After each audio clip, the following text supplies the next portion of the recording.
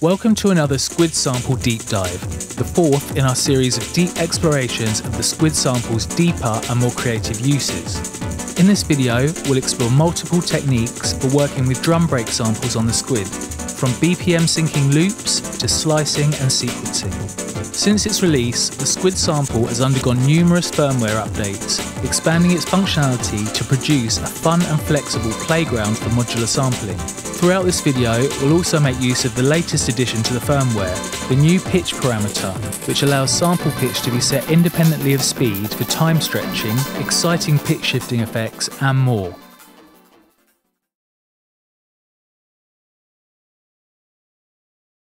To start, we'll look at incorporating looped breaks into a patch using simple BPM matching on the squid to synchronize them.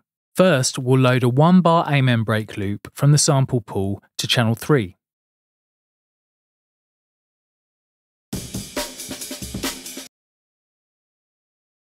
As always, adjusting the speed setting will alter sample playback speed along with its pitch.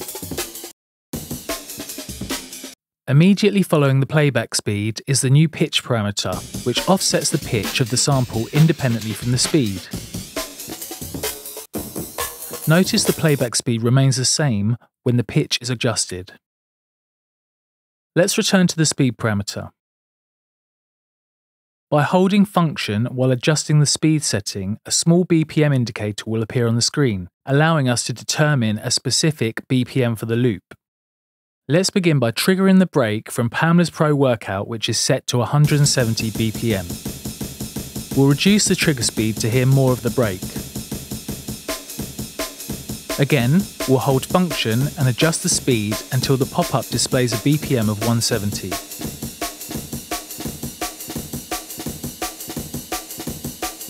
We can also hear the break now sounds properly looped. Let's reduce the trigger speed further to hear the full bar length.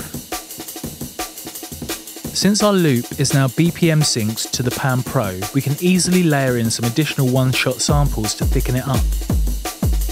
Let's return to the pitch parameter to shift the break's pitch without affecting its synchronization to the master BPM.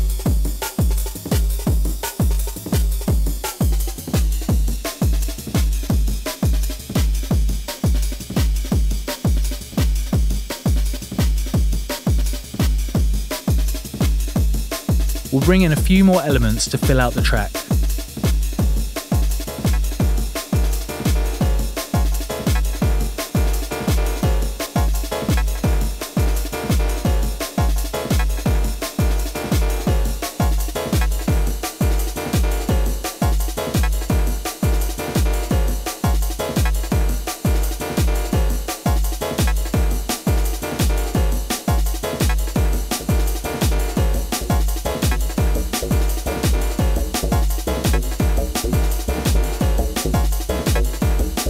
Pitch parameter can be useful as a simple utility for basic pitch adjustment or extreme creative effects.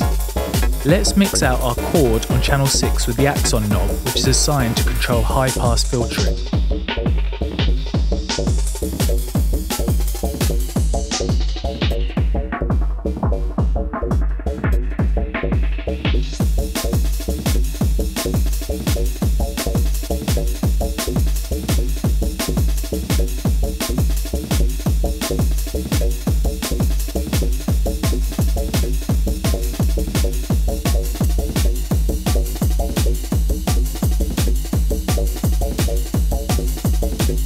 Let's load another break loop to channel 4.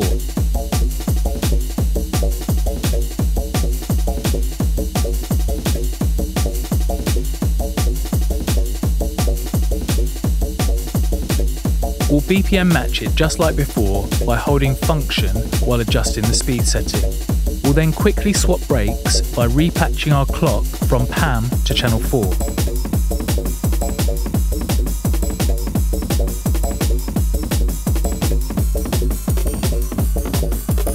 We'll then mix our chord back in. The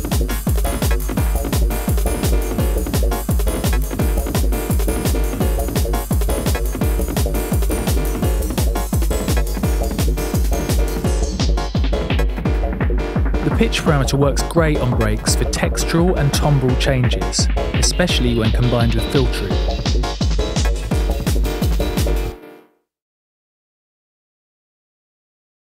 In this next patch, we'll look at cutting up and sequencing breaks for further control over the beat. We'll start by triggering a BPM synced loop from PAM, just like our first patch. By holding function and pressing cues, we'll enter the cue sets page to create multiple start and end points for our sample. Let's press split four times to quickly subdivide our sample into 16 equal sized cue sets spaced evenly across the sample. Once we select a set, it will begin to play. We now need to increase our clock speed to match the smaller sized sections of our sample. As we scroll through the cue sets, they immediately play like slices of our original loop. Let's edit the eighth cue set. To do so, we'll select it and press the Cues button, allowing us to view and adjust its start and end points. Unlike traditional slicing, each cue set can have its start and end points located anywhere on the sample.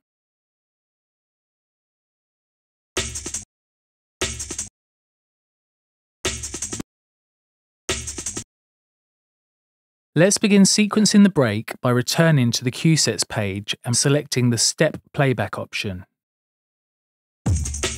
Once we start the clock, we can hear the break play back normally as the squid automatically steps through the cue sets.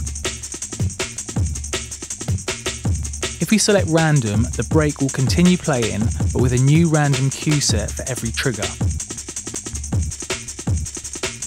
Finally, for the most control, we can assign CV. We'll use the Axon 2 expander to make use of its manual offset control.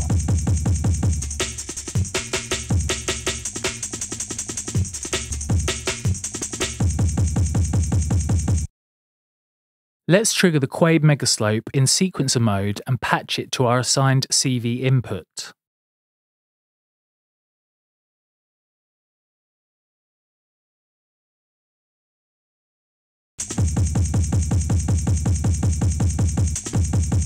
We can now sequence the break directly from the sliders.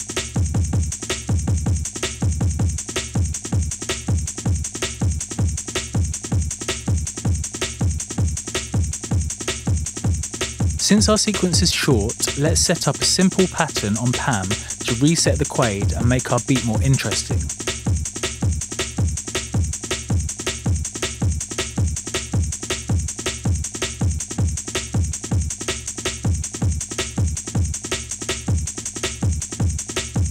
We now have a custom break pattern sequenced by CV.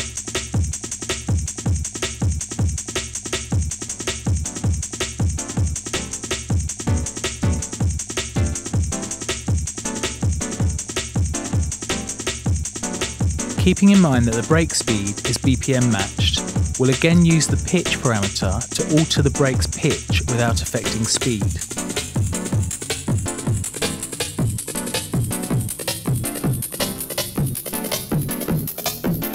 As we can hear, the full range of pitch adjustment is very large, allowing for many creative uses.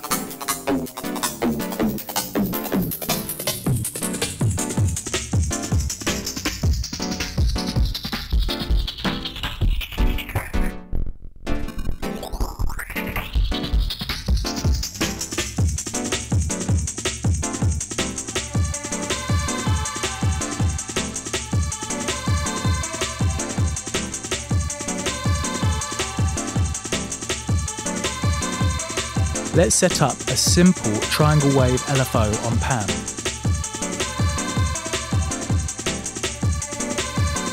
We'll patch it to another Axon CV input and assign it to modulate the pitch parameter. We can adjust the CV range by holding function and pressing the assign button.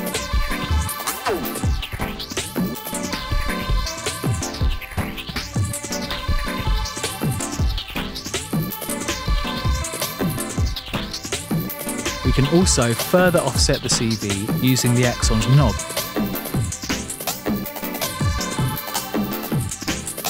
Let's change the LFO to random and speed it up to match the trigger speed of our sequence.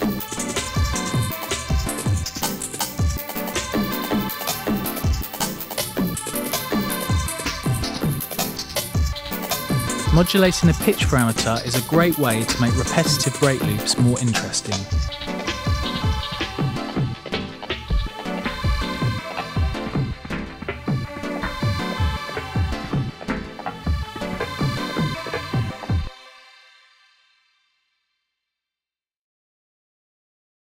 This final patch, we'll set up a time stretch effect that drops to half speed using both the speed and pitch parameters.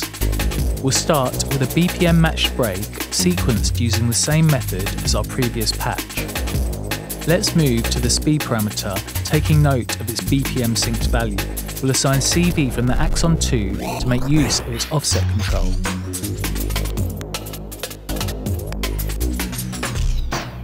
Let's adjust the CV range by holding function and pressing the assign button. We'll set the offset to 62 to match our original BPM sync speed.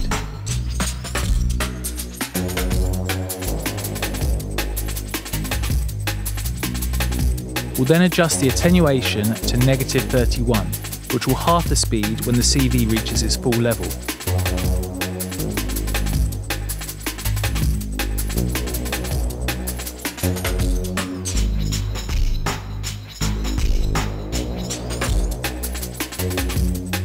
Now let's move the pitch parameter and assign the same Axon CV.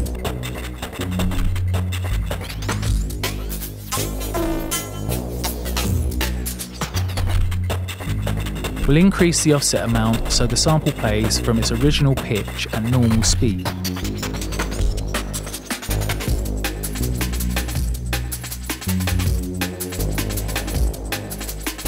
We'll then increase our CV to full and adjust the attenuation until the break returns to the same pitch while playing at half speed. We can now use the Axon knob to easily shift the break into half speed without altering its pitch, producing a classic time-stretched break effect.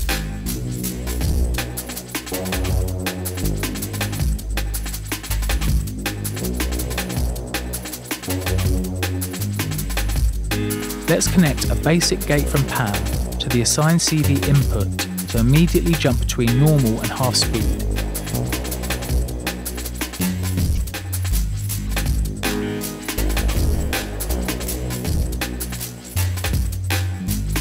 We can reduce the probability of the gate to jump to half speed less frequently.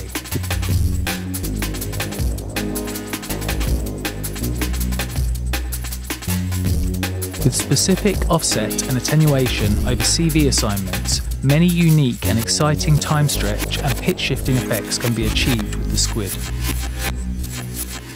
Thanks for watching our fourth iteration in the Squid Sample Deep Dive series, where we explore the module's deeper and more creative uses. To explore the techniques used in this video yourself, please ensure your Squid is updated to the latest firmware that includes the new pitch parameter. For more information on the Squid sample and the rest of the ALM product line, please visit busycircuits.com.